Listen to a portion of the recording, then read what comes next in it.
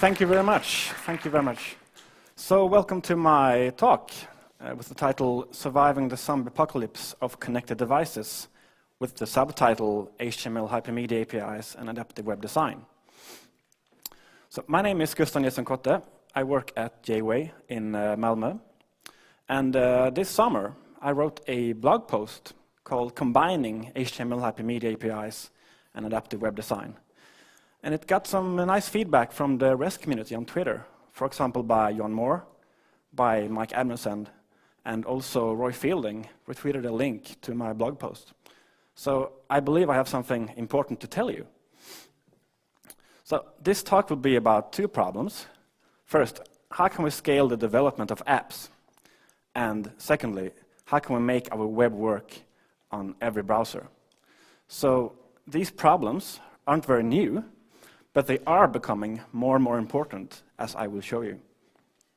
And I suggest that we start building HTML hypermedia APIs to make it easier to scale apps, and that we start using adaptive web design and progressive enhancement to make our web work on each browser. And then, if we combine HTML hypermedia APIs and adaptive web design, we will see that it's kind of the perfect combination. They two work very well together. And I will also show you that you can have your API and your web served from the same endpoint to be the same code base. So, uh, today, a traditional computer, like the one you see here, isn't the only interactive computing device that we use. We also use laptops, netbooks, smartphones, tablets, e-readers, and smart TVs, for example. Likewise, a traditional computer, like the one we see here, isn't the only way we access the web with a web browser today. We also use laptops, netbooks, smartphones, tablets, e-readers, and smart TVs to access the web.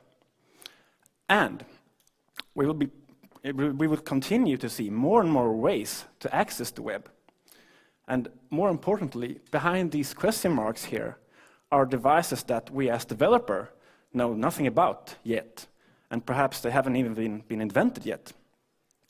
But we can be pretty sure that there will be more device types. The number of device types will continue to grow, and uh, many new devices connected to the web will have a web browser inside of them. So, in general, the we have a growing number of the actual connected physical devices. So uh, estimates, estimated number from GigaOM says that today we have 5 billion devices connected to the web. And then Intel predicts in, uh, that in 2015, two years from now, we will have 15 billion devices connected to the web. And then uh, uh the CEO of Ericsson predicts that in 10 years from now, we will have 50 billion devices connected to the web. So that's, that's like a huge number. um, and then, uh, as I showed in the previous slides, the types of devices, uh, the number of types of devices will continue to grow, as we've seen. And then, accordingly, the number of platforms uh, that support, can support these types of devices will also grow. For example, we saw uh, a while ago that Ubuntu announced their mobile OS, and Mozilla is doing the same thing. So we see a, a growing number of platforms as well. And then the um, number of actual device types, uh, device mo models, I mean, uh, is growing. For example, if, if, you watch on the Android platform, the number of device models are just enormous. Um, and it's kind of like this technology evolves in all directions. So it's not just getting better and better, well, th that depends on what you mean by better and better. Well, we see some, um, some products on one side of the spectrum, uh, on the top, that products compete on quality. For example, um, many of Apple's products. So they compete on quality, keeping the price relatively fixed. And we can call this a race to the top. And then on the other side of the spectrum, you have products that more compete on price, keeping the quality relatively fixed. More of a race to the bottom in some way. And this process is also called commoditization. Now, if this system is stable, we will see that this gap here will continue to increase, the gap between the best devices and the worst. And we as developers, or at least the, one, the ones who pay our bills, will like our applications or services to work on the whole spectra of these devices. Um, and furthermore, we will al we also see that um, when you embed a computer in a already existing thing, for example, a smart TV, these small computers tend to be very low performant, not very good, for various reasons. So we kind of get more of the lower end devices than the high end devices, uh, in my perspective. So, one example from uh, my reality um, home. Like a while ago, I bought a uh, Raspberry Pi. And I really love that device. It's just a, such a cheap, small computer, 35 bucks. Um, and I use it as a media center connected to my TV, so I can stream YouTube movies from my iPhone with AirPlay to Xbox Media Center and then to my TV. And that's perfect. Uh, it's a really nice computer, re really low performant, but the graphics card is unproportionally good, so I can watch really high, um, high resolution movies on my TV. Um, but then, if I want to browse the web, my experience is a somewhat different kind. Because I have like, two problems.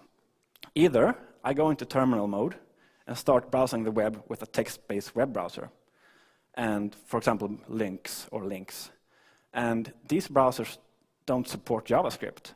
And many pages today rely on JavaScript for serving content. You know, single page apps or just regular apps that relies on JavaScript. So then I start an uh, X Windows server, firing up a graphical browser, and the performance of Linux inside of a Raspberry Pi isn't very nice. It's very good. I can have like one or two tabs open at most. And then if the page I surf to is very big in content or in CSS or JavaScript, a lot of things happening, the page is really slow. So as a Raspberry Pi user and owner, I would like the web to be, have a better web experience on my Raspberry Pi. So that's kind of an example from, from, my, from my side um, of a low performant device accessing the web. So now to another example about the, the fragmentation uh, of different platforms. So uh, here we see the, the current market share of smartphones, uh, numbers from uh, GigaOM, from Comscore, I mean. And we see that Android is, uh, well, if the colors were correct, we would see that Android has 54% uh, of the market, and this is the actual number of physical sold devices. So it's not revenue, it's just number of devices. And then Apple has a has 35%, and the rest is shared. Rest 11% are shared by Microsoft and BlackBerry. Um, now this looks kind of nice. We just have two platforms to support essentially. So let's zoom in on the Android uh, part here. And we see that the Android fragmentation of uh, device types is just huge. And some of these device types, device models, are, of course, certified by Google. But, I mean, how, how can you make sure that your web will work in all of these devices or device models? I mean, even, even if you just test 20 of these, you still have, have only covered a third. So, of course, you can run some automated tests on this on, on every, every mobile phone if you kind of fire up a simulator for that uh, with, with, the screen size and the, the, and the combination of uh, screen size and the platform. But what's the user experience like? Like, does it take like two seconds for every click on a link? That's not very good. Um, what about, uh, for example, CSS bugs due to different screen resolutions? Perhaps you have an automated test that clicks on a button, button, but that button might may be hidden below some other element. And then it's impossible for a user, a real user, to click on that button. So you would like uh, to have much less moving parts um, for, these, uh, for to solve this problem, I think. So the, the title of my talk contained uh, the word zombie. So let's talk about zombies here. Uh, it's of course a metaphor, metaphor. Some properties of zombies are that they are they kind of move slow, they are quite hungry for human flesh, they are angry, and there, more, more importantly, are lots of them. So you can imagine like a horde of low-spec Android devices coming to your site or, app or service, knocks on your door, and like, we want to access your content, we want to interact with your service. And it's like, it's up to you if you want to open the door or not. But as a business owner, it's probably, probably very nice for you to open the door and let them do their thing, right? So we should be kind to zombies. There, are, there were human beings once upon a time, at least. So, two problems here. How can we scale the development of apps? And how can we make our web work on every browser? And we should ask ourselves a question here. Why would we like to scale the development of apps? And why we would like to, to make our web work in every browser? Perhaps your business or business model doesn't, isn't, isn't necessary for you to, to do this. And then, then it's just fine if you can control the, the devices uh, that access your site um, and control if you only go for iOS or a single page application, that's fine. But it's, I mean, it's all about the costs versus the benefits here. So what if I told you that if, if you go with um, my proposed solutions here with HTML hypermedia APIs and adaptive web design, that the cost will be very low to solve these problems, well, then you can get like the benefits for free. So it's, but yeah, it's always about the cost versus the benefits, of course. So let's um, talk some about, some uh, about the problem of scaling development of apps. So why is this a problem? Well, I think it's a problem because, because we have so fat clients. And the reason behind this is that we have so thin APIs today. And uh, if we have so thin APIs, it's because they just serve like data, data from directly from the data store or from the domain model. And then all the business flow, the business knowledge, and the application flow needs to be somewhere. It's not in the API, so it's ending up in all these clients. And that's the reason why, why we have fat clients, because we have really skinny APIs.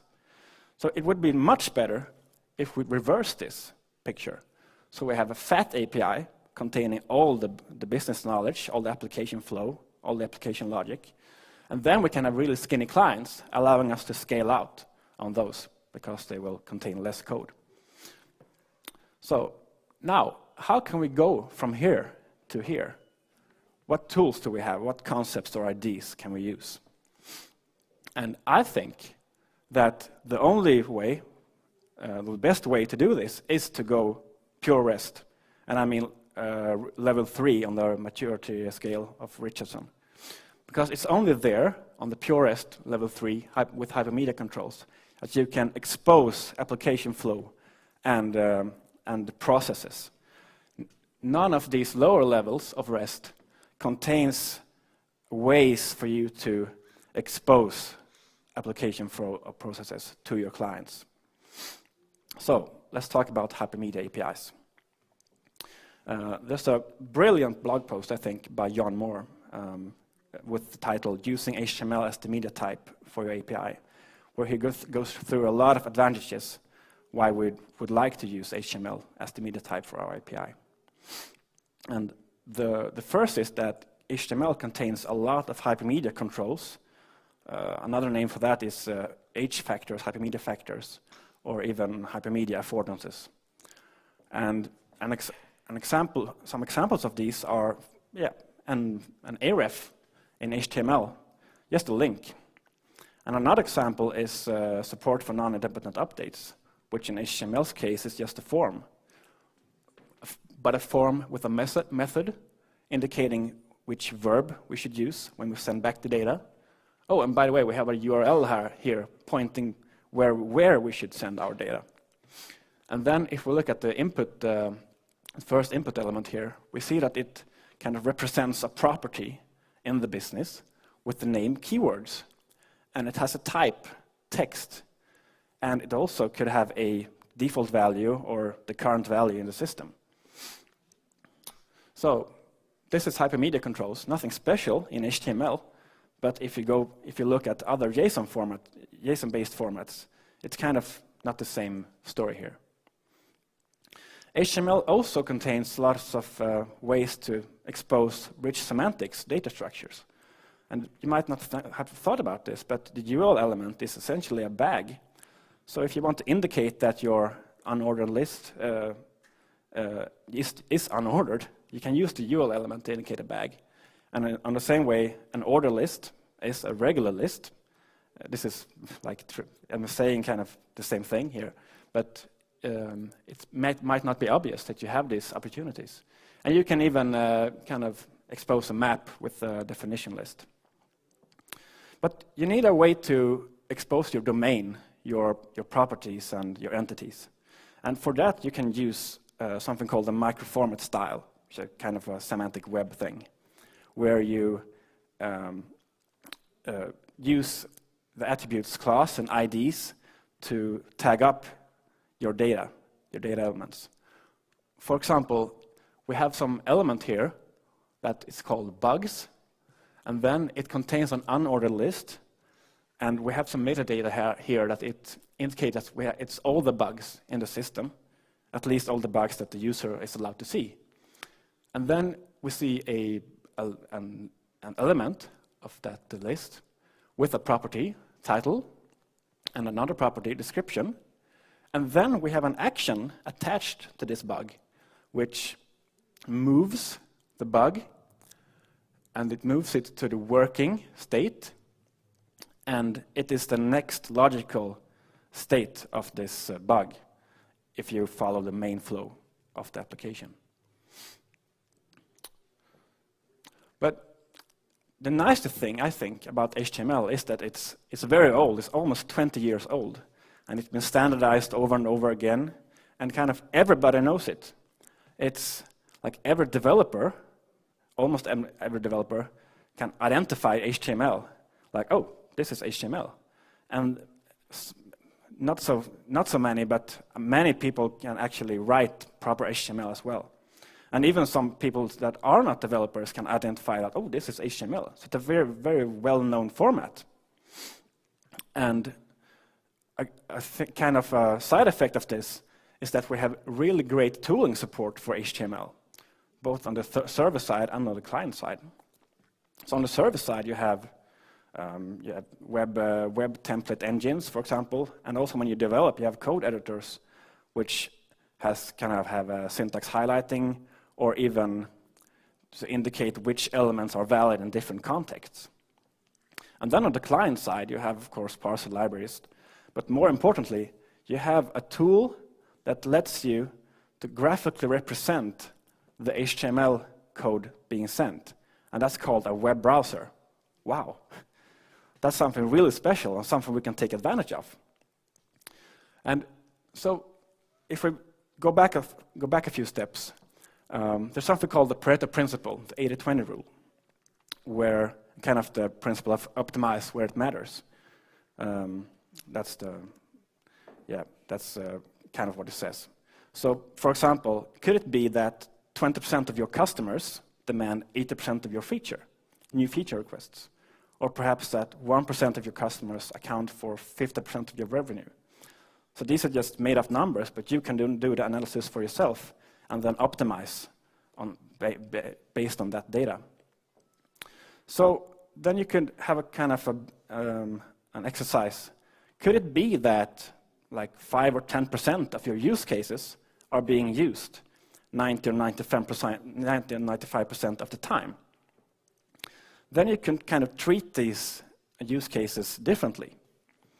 So for the most important use cases, the primary use cases, you can build native views to make these views really shine, to make the best use experience possible. And there, then you can use the the HTML Hypermedia API as a regular API. And then for the secondary use cases, for example, a settings screen, which is not very uh, often uh, accessed, accessed, you can just render an HTML response in a web view. And that kind of makes your use case uh, be developed almost for free. So, for example, you can take the, the Facebook app. Uh, the, how often do you go to another view than the news feed? How many times per year do you go to another view than the news feed? It almost never happens. So why not, for example, put the settings view on, a, on a, just a regular web, web view and uh, don't care about it more? Then if you see that it getting access more and more and being kind of more important, then you can um, uh, yeah, code something uh, better for it. But you have to have the feedback first and start with the primary use cases. So, if you look at alternatives eh, other than HTML for um, the media type for API, you should perhaps ask yourself, what are the hypermedia controls for the media type, reading and writing data? Does it have rich semantics?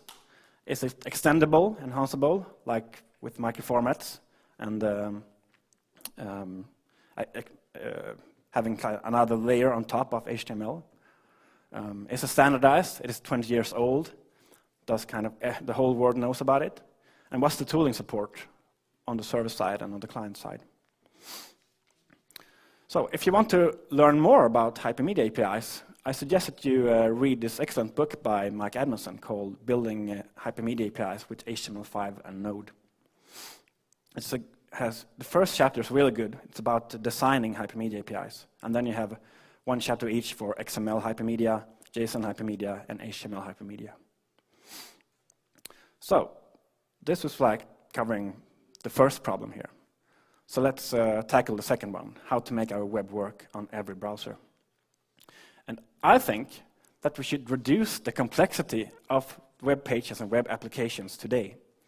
We should go for what's called mobile first, to serve really simple HTML with just a minimum of CSS and try to avoid JavaScript as much as possible because you want less moving parts that can break in your application. So I don't say that you shouldn't have any JavaScript in your application. You should try to avoid it as much, as much as possible, perhaps just 3 or 5K. So I have a demo here for you. Um, it's a fork of Howard Dierking's uh, REST-Bugs, which is a um, HTML hypermedia API that I've forked. Let's see here.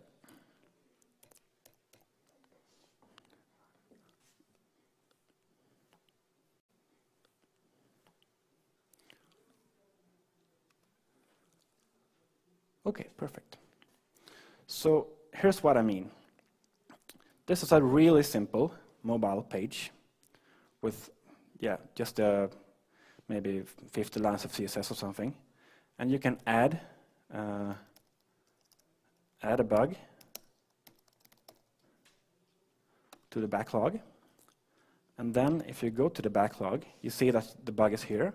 And you can move, move it to the working state we are working on it. We're done with it. We're moving it to QA. And then we test it, and we can move it to done. And that's it. That's a simple mobile site, a really simple HTML. And I would guarantee you that almost every browser in the world will be possible to, to, to access this web page.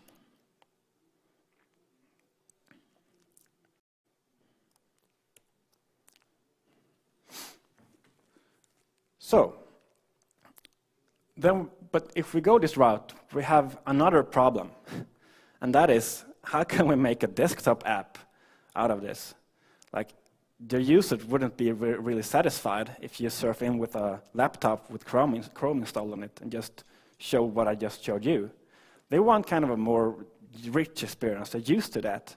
And HTML5 promised us like the rich applications on the web, on the client side. Um, so, like with really good UX. So, what should we do? Well, this problem is very related to something called progressive enhancement, which is a principle for having, uh, it's a cross-browser strategy or principle. And it has a pretty nice uh, metaphor attached to it, an escalator, escalator. So the joke goes, an escalator can never break. It can only become stairs, by Mitch Hedberg. And when you think about it, it's a really smart invention that you can always go up if it, if it would break. And an elevator, just the opposite, it will just be out of order. So progressive enhancement works kind of on the principle level, and it's almost as old as the web itself.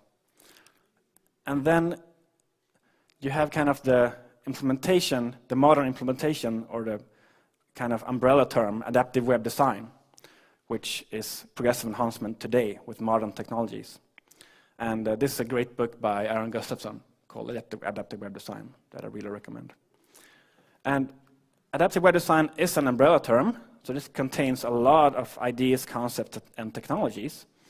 And this is just like the tip of the iceberg. It's a huge, huge topic, and I won't have time to go through even a percent of it today. I will uh, demo some things uh, on this slide in the, the next demo, but um, um, I won't have time to, to cover any detail, details actually.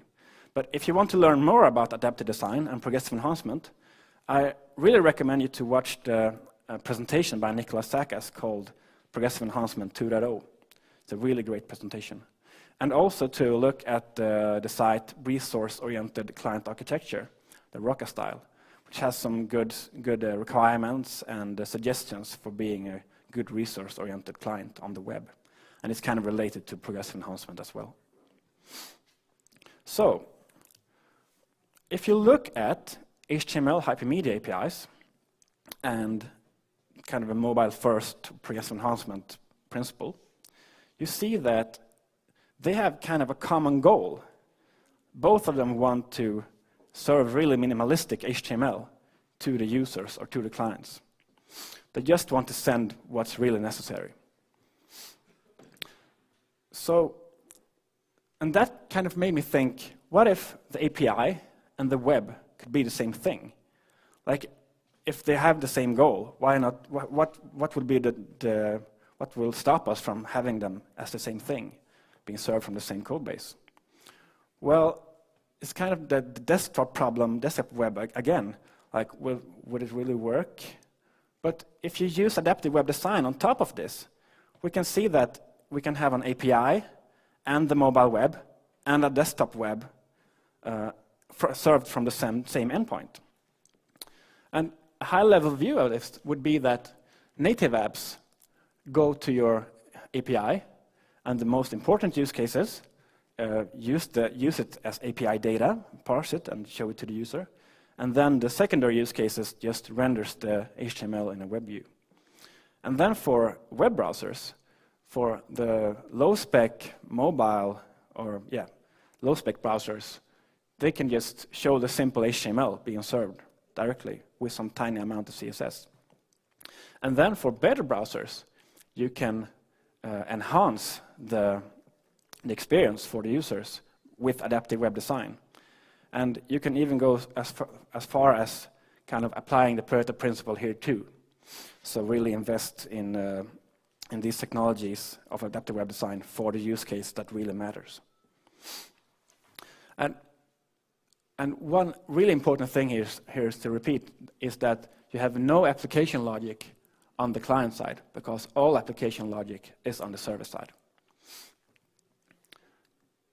So obviously, you have to make some compromises because it's not, it's not just 100% uh, the same thing.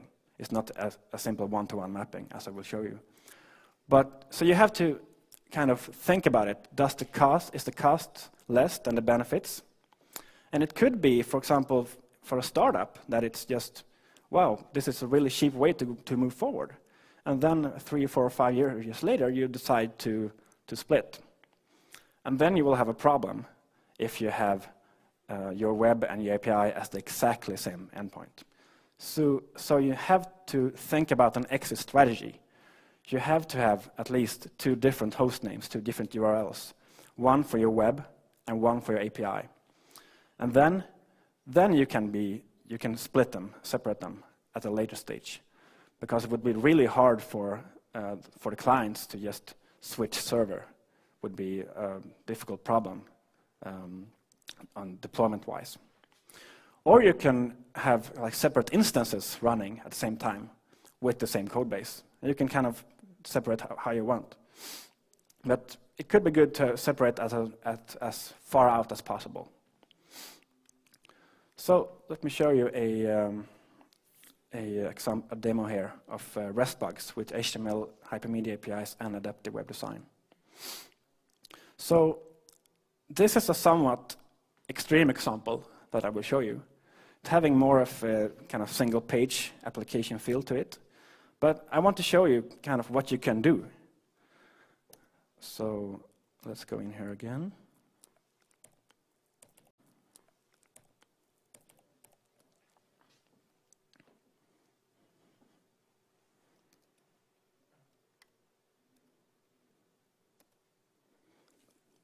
So, so here's the mobile site again. And if we now make the screen bigger,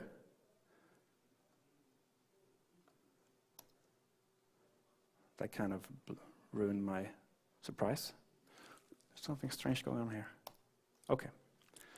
So if we make the screen larger, it loads a, a different kind of experience for the user.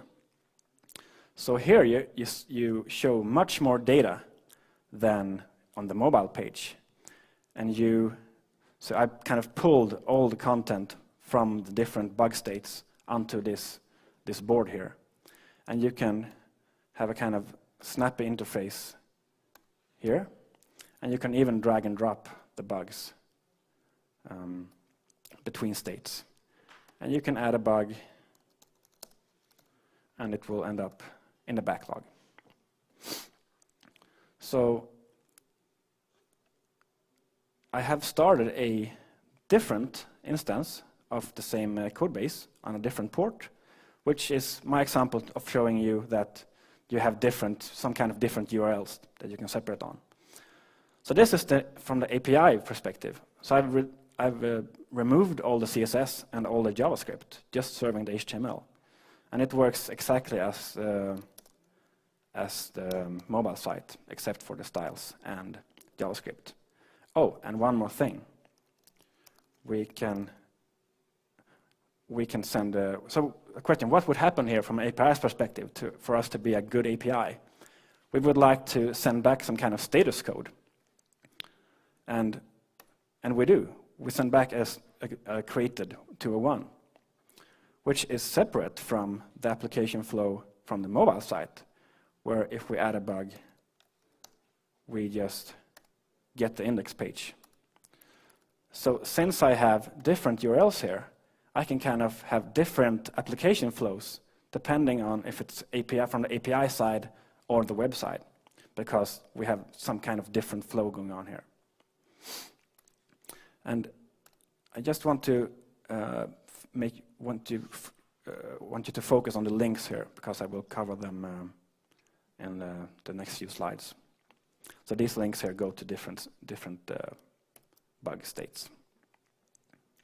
Okay.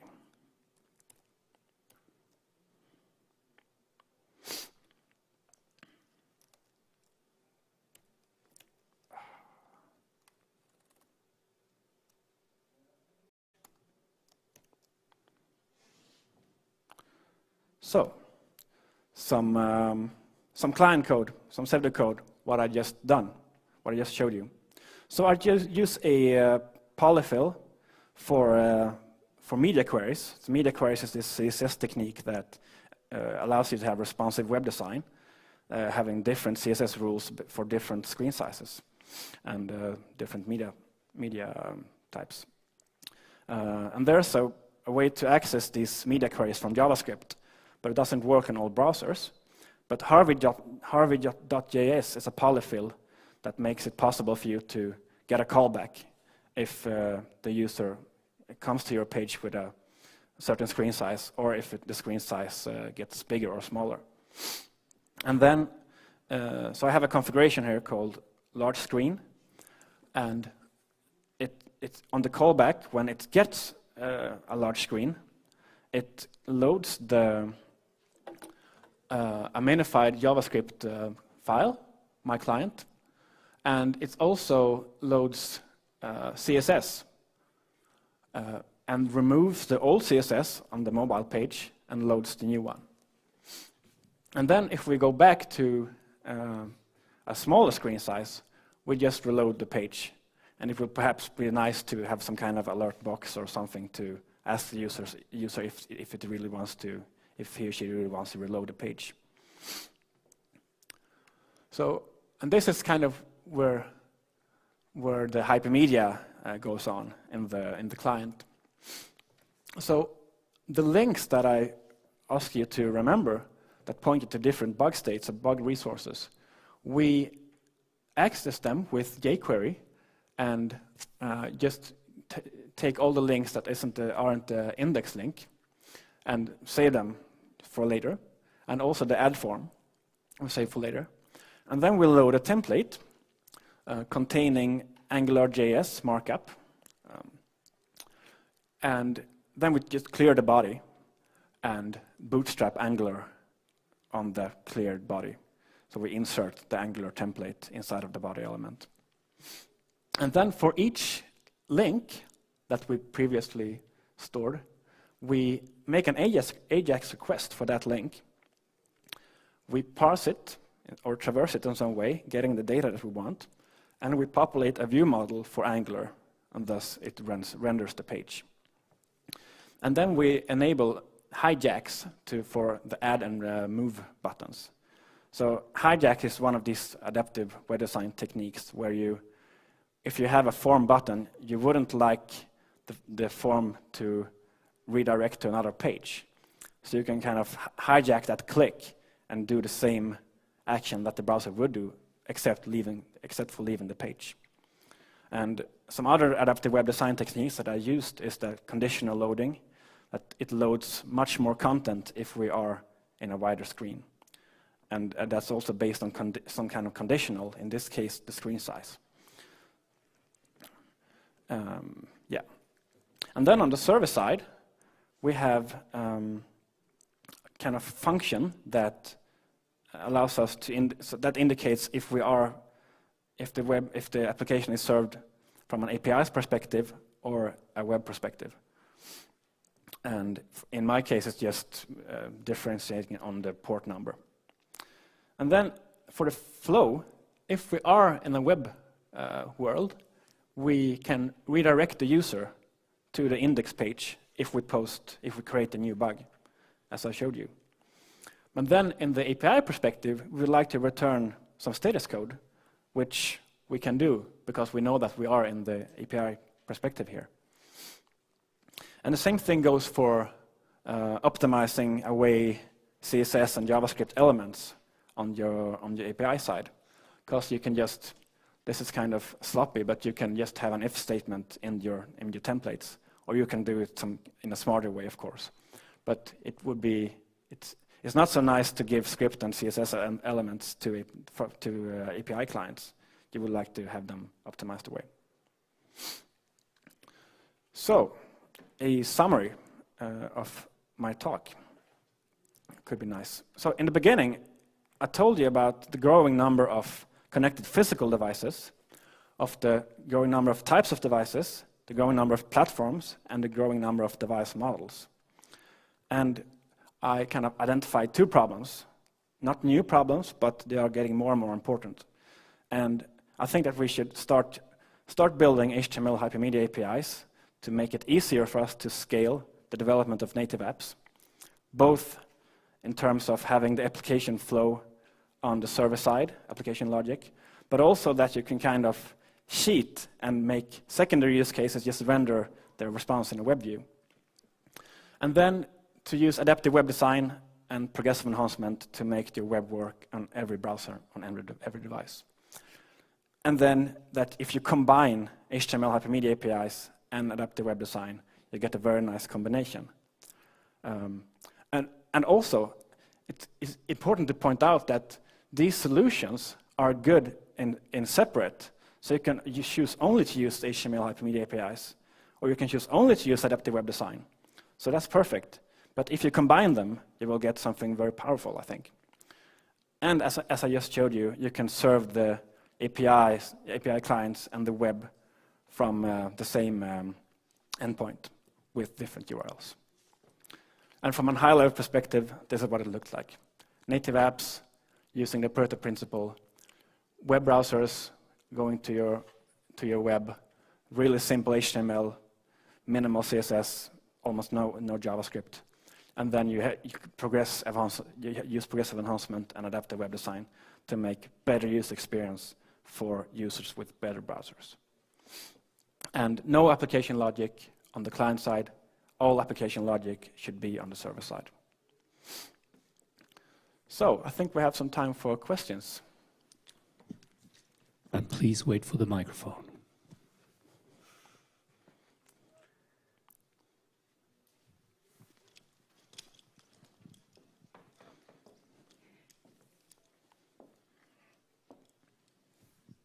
Yeah, hi. Uh, exactly what part did Angular play in that demo?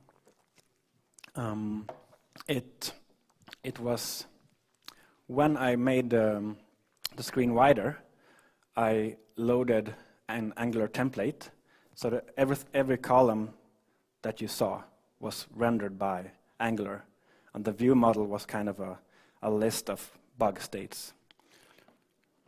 Does it make it clear for you? You, um, yeah, you mean um, So what, if it was just an excuse for me to play around, play around with Angular, you can do in any web framework that you like. And as I, as I said, it's kind of an extreme example trying to show that you can have kind of a single page on top of a, of a mobile page. okay. But um, so I, I um, the code the code is actually on um, on GitHub, so you can watch it for yourself. But um, so I kind of learning Angular here, so I probably made lots of mistakes. So and that's my fault, not Angular's fault. and do you have any view on uh, client-side state in this kind of model? If you wanted to go Mm. offline temporarily, or Yeah. in some sense. Offline is a really big challenge um, with this architecture. And it's kind of the opposite to what I just talked about, because with offline clients, you kind of have to have your, your application logic and your application state on the client. But then there's some other uh, kind of idea that would be nice for you to use, that you can have if you kind of think of a client's backend, the data access layer, that part can actually be JavaScript. So you can have kind of a little application layer there if you want to.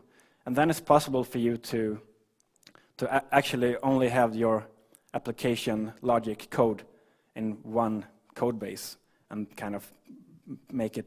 And then even the clients, the native clients could kind of load that on like every day. So you can kind of have an up updated application um, code on the clients.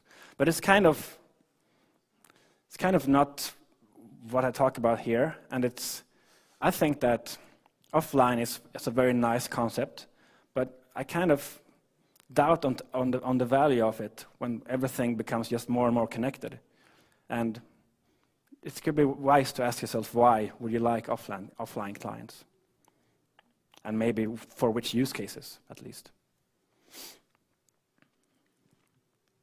More questions? Ah, here we go.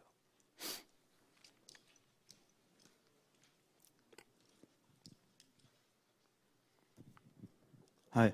Hi. Um, as a server-side developer, I am quite often developing REST APIs, and those REST APIs are then consumed by, uh, let's say, a web application, and the same REST API is consumed by, um, let's say, iOS client. Now, how could I convince that the iOS guys who are developing the client code should use something else that is not the plain old JSON and stuff like that? Is there Yeah. anything that I could just say that, okay, have a look, there is a ready-made solution that we can use this one Yeah. endpoint? It's a, it's a good question um, because iOS is actually the platform that has the less support for parsing HTML. All the other platforms are pro probably are very good at it, uh, but iOS is kind of the, the bad boy here. So it kind of depends on d- are you in control of the iOS development? Are you paying for it? Is it part of your organization or is it outside your organization? Because if it's inside your kind of economy, then it would make sense for, for someone coordinating all the applications and servers to minimize the cost for the system as a whole. So in that case, you would like to pull back all the application code back to the server. And so, and then you will have a problem with the iOS developers because they don't really have a good way to parse HTML. And then you can kind of have a fallback to have the HTML parser on the server side, just rendering JSON data, uh, the same kind of code that would be on the client, but instead you have it on the server and a kind of separate address. And then you- you're paying uh, some kind of price because then you need to have the application state on the iOS client. Um, and then if your client are just developed by someone else that you're not paying salary for, then it kind of the price you have to pay there is that there might not be as many clients on your API uh, if it's depending on. I mean, hypermedia APIs are, of course, a bit more data to work with. Um, and simple JSON APIs are much more simpler to, to access and start working with. The problem is that the application logic will be in the client. So it's always the trade-off, um, lots of trade-offs. Anything else? So I just want to say this is my Twitter handle. Feel free to ask me more questions or discuss or anything. I'd love to to discuss with you. And uh, if you want to access the, my demo here, it's on GitHub. And uh, I'm trying to make the code better kind of each week. And don't I, I've made all the mistakes. It's not AngularJS fault. Um, and if you want to access the, the slides on SlideShare, here's the URL for that. And they will also be accessed um, on the conference page, I think. Yes. Yes. So, thank you, Gustaf. Thank you very much.